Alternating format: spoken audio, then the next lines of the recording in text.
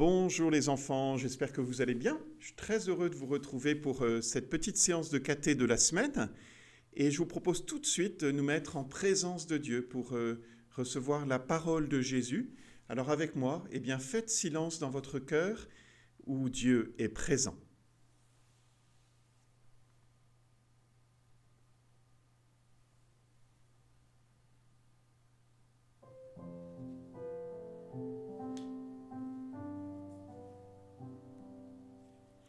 Je fais silence, je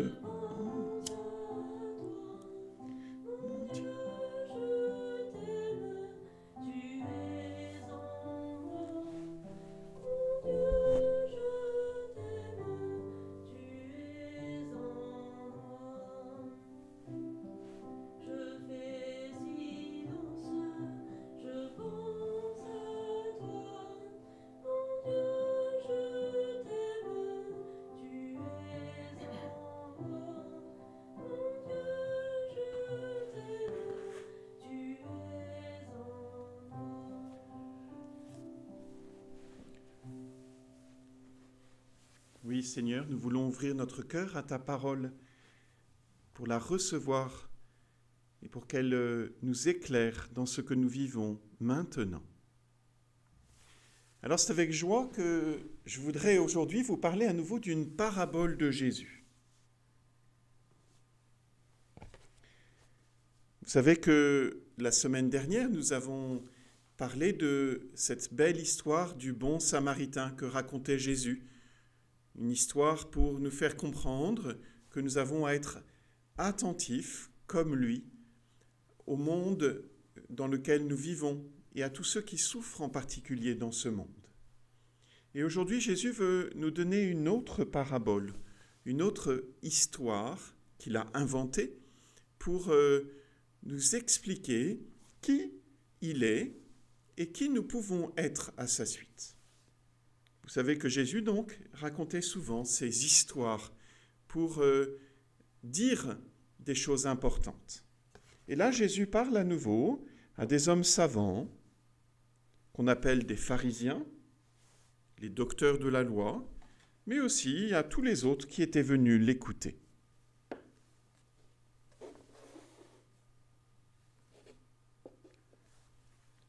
Ensemble, recevons cette histoire.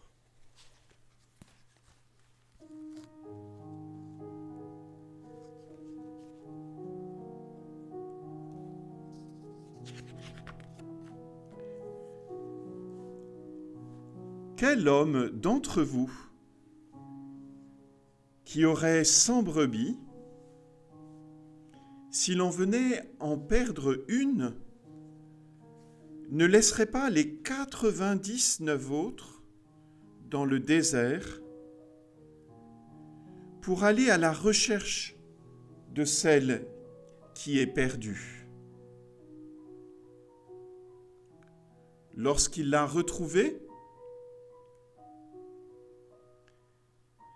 Il la met avec joie sur ses épaules. Et de retour à la maison, il appelle ses amis et ses voisins et leur dit, Réjouissez-vous avec moi, car j'ai retrouvé ma brebis qui était perdue.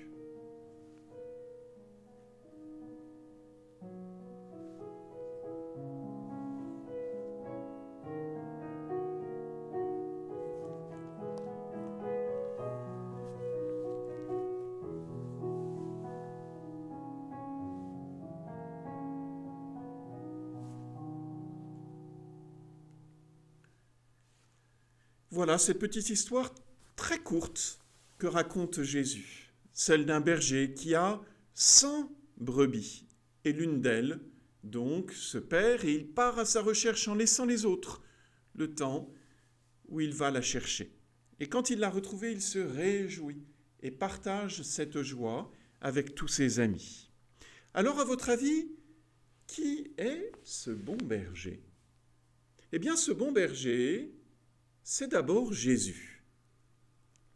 Mais c'est aussi chacun d'entre vous. Et qui sont ces brebis? Eh bien, ces brebis, ce sont tous les hommes de tous les temps, dont Jésus veut être comme le pasteur, le guide, le bon berger. Et la centième brebis, celle qui s'est perdue, à votre avis, qui est-ce? Eh bien, c'est peut-être chacun d'entre nous lorsque nous avons fait le mal, lorsque dans notre cœur, le péché est tellement présent qui fait que nous nous éloignons des autres et de Dieu.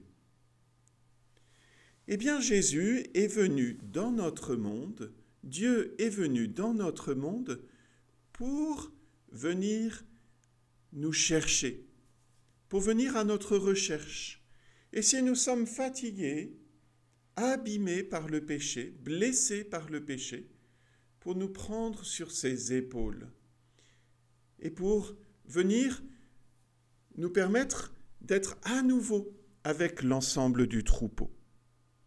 Et alors, c'est la joie, c'est la joie pour nous, c'est la joie pour Jésus, et c'est la joie pour tous, car à nouveau, nous sommes réunis. Réjouissez-vous avec moi, car j'ai retrouvé ma brebis qui était perdue. Et Jésus finit cette parabole en l'expliquant. Et regardez ce qu'il dit. De même, je vous le dis, il y aura plus de joie dans le ciel pour un seul pécheur qui se repent que pour 99 justes qui n'ont pas besoin de ce repentance. Eh oui, Dieu est heureux quand il voit que chacun d'entre nous, nous revenons vers lui et vers les autres. Mais cela n'est possible que si Jésus vient nous chercher. Et pendant la semaine sainte que nous allons vivre, bientôt, la semaine prochaine, eh bien justement, nous allons voir comment Jésus va oser même donner sa vie pour nous sauver. Un autre moment dans l'Évangile, Jésus explique cela. Écoutez. Je suis le bon pasteur, le bon berger. Le vrai berger donne sa vie pour ses brebis. Je connais mes brebis et mes brebis me connaissent comme le Père me connaît et que je connais le Père, et je donne ma vie pour mes brebis. J'ai encore d'autres brebis qui ne sont pas de cette bergerie. Celles-là aussi, il faut que je les conduise. Elles écouteront ma voix. Il y aura un seul troupeau et un seul pasteur. Mes brebis écoutent ma voix. Je les connais et elles me suivent. Je leur donne la vie éternelle personne ne les arrachera de ma main. Eh bien, je vous invite maintenant, quelques instants en silence, de considérer que Jésus est notre berger et que nous sommes un peu sa brebis. Et lorsque nous sommes fatigués, lorsque nous avons fait du mal, Jésus vient nous chercher, il vient nous porter sur lui. Dans le silence, quelques instants, demandons à Jésus de venir nous sauver jusqu'à peut-être même donner sa vie pour nous.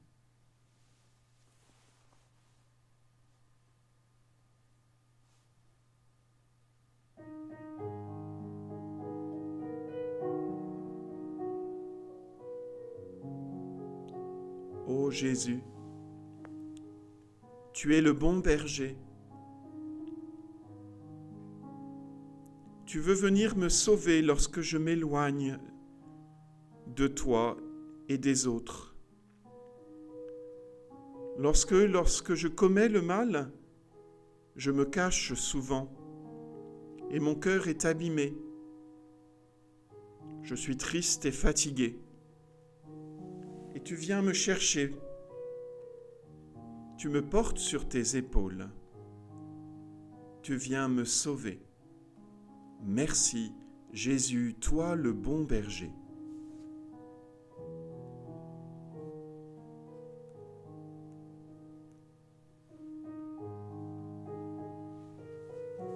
Et ensemble, nous allons chanter ce beau chant, ce beau refrain.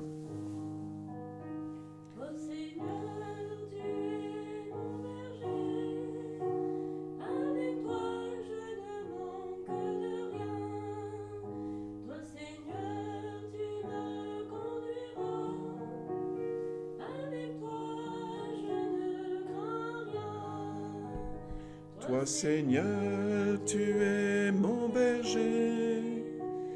Avec toi, je ne manque de rien. Toi Seigneur, tu me conduiras. Avec toi, je ne crains rien.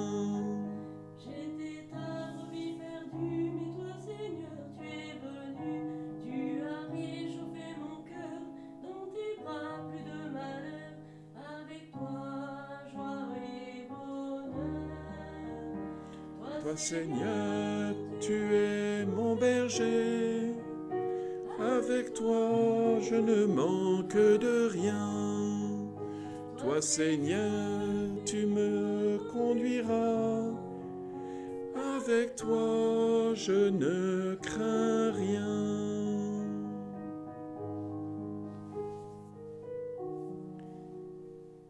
Eh bien, pour vous préparer à cette belle semaine sainte, je vous invite tout simplement à chercher une belle image de Jésus sur Internet. J'en mettrai dans les descriptions de cette vidéo pour que vous puissiez euh, peut-être la mettre dans votre chambre et regarder Jésus et l'appeler pour lui demander qu'il vienne vous aider, vous sauver dans votre vie quotidienne.